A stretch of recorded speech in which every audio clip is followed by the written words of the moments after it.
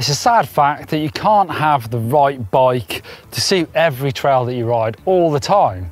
So, would you rather be underbiked or overbiked?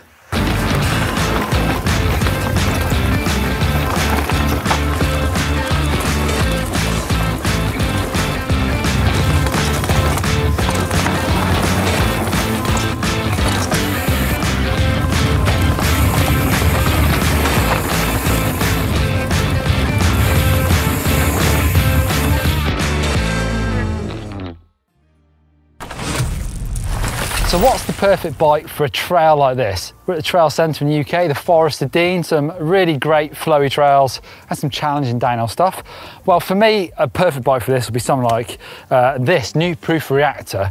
29 inch wheels, 140 mm travel front and rear, beefy and robust enough to be able to thrash properly, but light and efficient enough to feel good blasting around on the climbs and the flat stuff. But a cross-country bike would be lighter, more efficient and faster on the climbs and the flats. And an enduro bike gets better when it gets rougher and steeper on the descents. So what do you do? What's more fun, being faster on the descents or just having a greater average speed everywhere? Well, there's only one way to find out. Let's go for a ride, or two.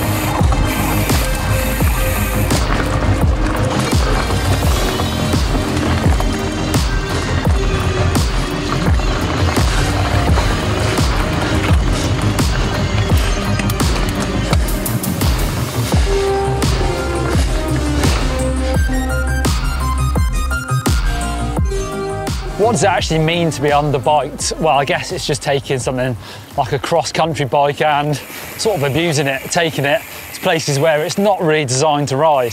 So this is my cross-country bike, my Canyon Lux, 100 mil of travel on the rear, 110 up front. So short travel bike, and it's sort of become my gravel bike as well really because with the lockout it really bombs down the roads so I can get between woods and go for a big old ride on it but I do kind of like abusing it as well and taking it places it's not really designed to ride and thrashing it down downhill tracks, pedaling back up and doing it all over again.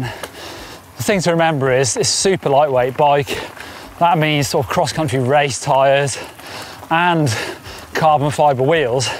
Eventually they won't take all that abuse and you will puncture at least. So as robust as these bikes are, they're designed for going fast cross country not necessarily downhill. But it is amazing these days how capable these full suspension cross-country bikes are. Of course, there are many different varieties of mountain bike these days, but also mountain biker.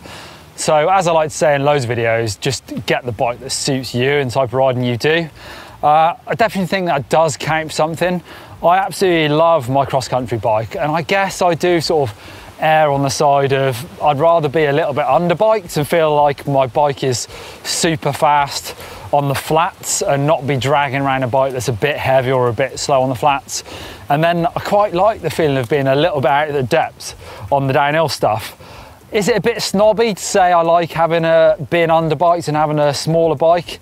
I guess it could be. You, you, know, some people might see it as being, oh, look, you're so good, you can ride a cross-country bike downhill. Well, that's what I'm trying to say. I don't really feel like that. I feel like I like the challenge of doing it, but sometimes it is just a bit plain uncomfortable. If you're thrashing this down a long, proper downhill track, it's just not that much fun after a while.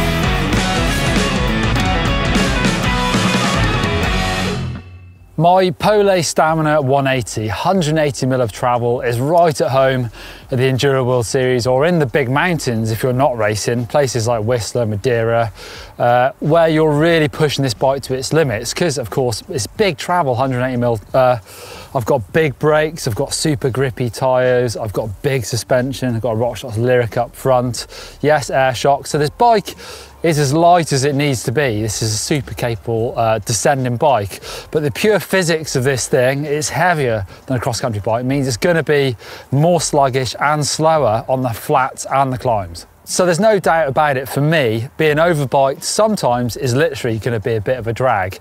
But what about those special trips when you head to somewhere like Whistler, taking a cross-country bike or trail bike there, they're to be undergunned quite heavily. An enduro bike, brilliant. You can get outside of the bike park, ride some of those natural trails, but some of the bike park stuff is even more full on. So a downhill bike, perfect, unless you want to pedal up any of those outside of the bike park tracks. Great thing about enduro bikes is as soon as the sort of hill starts tipping downwards, it doesn't have to be much. You no longer feel overbiked at all and you start bombing. Even on this trail with some nice jumps, it's definitely not very steep downhill at all, but feels great. It's a fine line from going from being overbiked to all of a sudden feeling like you're on the perfect bike and absolutely nailing it. So how do you pick the perfect bike for you? Well, I think we've sort of established that there is no perfect bike, even for every individual person, unless they just ride the same place all the time and then you could probably find the right bike and the right tyres, etc. But normally there'll be somewhere in the middle that most people pit their bike, and then they just have to realise that sometimes they'll be overbiked, sometimes they'll be underbiked. Like I say, I kind of do err towards, I'd rather kind of be underbiked and be riding a trail bike, which is the bike that I choose. You know, I'm very lucky to be supported by the partners of GMBN and have different types of bikes to choose from. But if I could only pick one bike, it would probably be a 140, 150 mil travel 29er trail bike. And then I would just have a lightweight set of tyres for a bit of cross country and some downhill tyres for thrashing it around the bike park. But only you can answer what the perfect bike is for you. But let us know in the comments down below the bike that you've got, if you love it, if you're thinking about going bigger or thinking about going to a lighter, smaller bike, faster bike, let us know. Thumbs up if you enjoyed this video.